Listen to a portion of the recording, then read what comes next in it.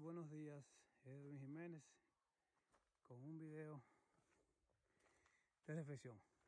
Bueno, primeramente quiero mencionar que a veces uno no quiere hablar del mismo tema o referirse a cosas que ya uno ha mencionado, pero si fuera así, no podíamos predicar lo mismo. A veces uno se siente como que, ah, viene a decir lo mismo, pero que el ser humano también hace lo mismo. Si fuera que nosotros, como cuando un padre te dice, no haga esto, tú nunca más lo vuelves a hacer, ¿para qué volver a hablar del tema? El ser humano necesita que se le repitan las cosas porque lamentablemente no aprende, no deja de hacer las cosas que no son correctas. Entonces, quise aprovechar este video por algo que vi el día viernes. Yo salí para acá porque me informaron que el gobierno tiene planeado, empezó a trabajar en este camino, a echarle material para que esté en mejor condición, que ya lo han hecho en otras áreas por aquí, pero aquí no lo habían hecho.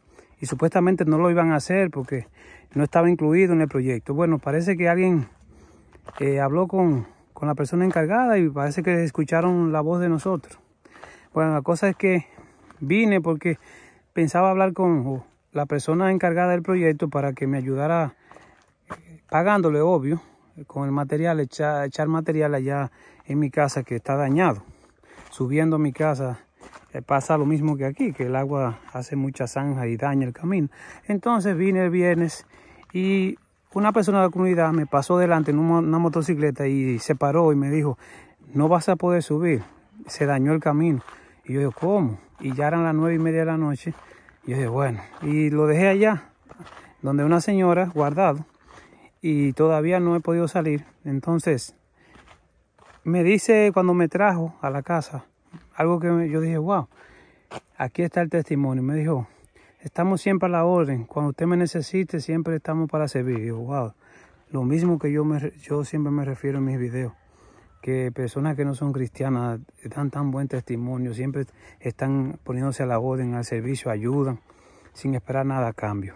Entonces miré el camino como estaba, yo dije, Dios mío, pero ¿cómo es esto? Que estas personas pasan por aquí y nadie se dignó a quitar toda esa tierra, sabiendo que todos nos, nos estamos beneficiando. ¿Sabe lo que hicieron? Solamente quitaron un poco de tierra a la orilla del camino para pasar la motocicleta. Ellos no saben que aquí pasan vehículos. Entonces, pónganse a pensar, si uno de ellos se enferma y o una mujer, como el caso de un trabajador que tiene la esposa embarazada, tiene que salir, ¿cómo puede salir en una motocicleta? Son cosas que no piensan en el egoísmo, siempre el típico egoísmo de esta gente que no piensan en lo demás, que vamos a cooperar para beneficiarnos todos, porque ellos mismos pueden tener un accidente, se pueden enfermar y pueden entonces morir. Y mire lo que tuve yo que hacer entonces, mire. Poner a los trabajadores a que muevan esa tierra para yo poder salir de aquí el día de hoy. Porque si no, nunca voy a salir. ¿Ustedes creen que eso es justo, señores? Que uno tenga que decir cosas como esta. Es que nosotros somos así. El egoísmo nuestro, no nos permite ver más allá de donde tenemos que ver, aún siendo cristianos también. Eso es típico del ser humano, eso está por donde quiera. Como que cada quien solamente hace la parte que él le conviene y lo demás no le importa. Pero si fuera que el uno le va a pagar dinero, ahí sí. Ahí sí. El mismo eh, viernes, recuerdo en la mañana, estaba cortando un árbol así de grueso allá y ese árbol se desprendió. Y gracias a Dios que tuve una reflexión, perdón, no reflexión, una, una, ¿cómo se llama? Ahora se me va la palabra. Una reacción rápida que cuando él cayó, eso se levantó, eso se vino hacia mí, con, yo con la motosierra. Esa motosierra me hubiese hecho esto en la cara. Me hubiese rajado la cara o me hubiese matado el palo. Y entonces yo pensé lo mismo también cuando me recordé de eso el viernes, que si me hubiese pasado eso, a lo mejor no llego al hospital porque el camión no tenía combustible. No tenía combustible. Y no era culpa mía. Entonces, nosotros seres humanos tenemos que pensar más allá de lo que ven nuestros ojos. Nosotros solamente vivimos pensando en nosotros. No pensamos en las consecuencias, en los demás, que todo nos afecta. Por ejemplo, si yo muero, Dios libre ahora, ¿cuánta gente no son afectados? En todos los aspectos. Es una cadena. Pero el envidioso, el egoísta, no, te no ve eso. Entonces, señores, hay, por eso es que yo tengo que seguir hablando de lo mismo. Yo quisiera hablar muchas cosas diferentes, pero tengo que volver al mismo tema. Miren toda la tierra que hay aquí. Usted sabe el tiempo que demoraría quitar eso. Pero si ya se hubiese empezado poco a poco, ya estuviera más avanzado. Pero miren, porque justamente hoy fue que empezamos a hacer esto. Porque ayer era sábado. Ahora nos toca a nosotros aquí durar varias horas haciendo este trabajo. Porque aquí no, no hay nadie que se digne a arreglar el camino. Porque como ellos andan en motocicleta, en burro o en caballo, a ellos no les importa lo demás. Y eso es simplemente unirse, varias personas, vamos a unir. Señores, todos nos beneficiamos. No entienden que cuando hay una emergencia es en un vehículo de cuatro ruedas, que hay que caminar, hay que pasar por aquí. Ellos mismos se pueden morir, como en el caso que yo mencioné de la otra tierra en otro lugar, el señor que falleció, porque no había acceso, no había un no se podía entrar en vehículo. Por eso el señor quizás falleció, quizás si hubiese una persona ido a buscar a ese señor cuando le pasó lo que le pasó, quizás estuviera con vida el día de hoy. La gente no piensa eso, la egoísta no está pensando eso. Y eso es lo que nos tiene a nosotros cada día, de la forma que estamos, practicando lo que practica el mundo, el egoísmo, la envidia, el orgullo, vanidad, la avaricia también, que somos muy avariciosos.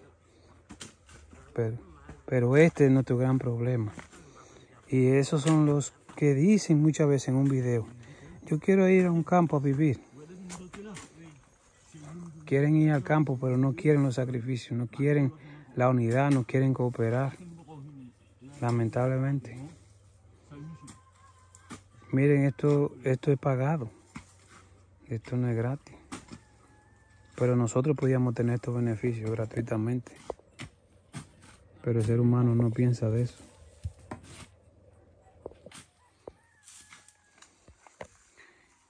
Además, algo que yo también quiero agregar. Cuando yo inicié aquí, yo ni siquiera vivía aquí. Y yo empecé a, a pagar un bulldozer para arreglar el camino. Luego pagué a otros operadores de maquinaria para arreglar el camino. ¿Y quién me dio las gracias? ¿Quién me ha felicitado para decirme qué bueno lo que tú hiciste? Pero yo no lo hago para eso. Yo lo hago para sentirme bien yo. Yo me beneficio. Y también sé que otros se van a beneficiar. No me importa el dinero que yo he gastado. El dinero se recupera. Lo que no se recupera es la salud, a veces, muchas veces, cuando llega el deterioro físico o la muerte, ya se acabó. Pero todo esto es temporal. Todas estas cosas de la vida es temporal. Y otra cosa, si la gente nos ve, la gente dura, que son muchos que son duros así, que no tienen amor propio ni amor por nadie, si nos ven a nosotros haciendo esto, Quizás Dios permite que la voz del Espíritu le hable y le haga conciencia así. Wow, sí, nosotros tenemos que cooperar. Pero si yo me quedo en mi casa hoy domingo temprano acostado, ¿qué usted cree que va a suceder? No va a pasar ningún cambio. La gente quiere cambio y haber cambio en la iglesia, cambio fuera de la iglesia, no hay cambio. El cambio lo tenemos que generar nosotros. Nuestro testimonio cada día está peor. Y no quiere decir porque uno no va a discoteca, no toma alcohol, no anda en la calle, no anda haciendo cosas ilícitas, no usa droga, no quiere decir que nosotros andamos bien.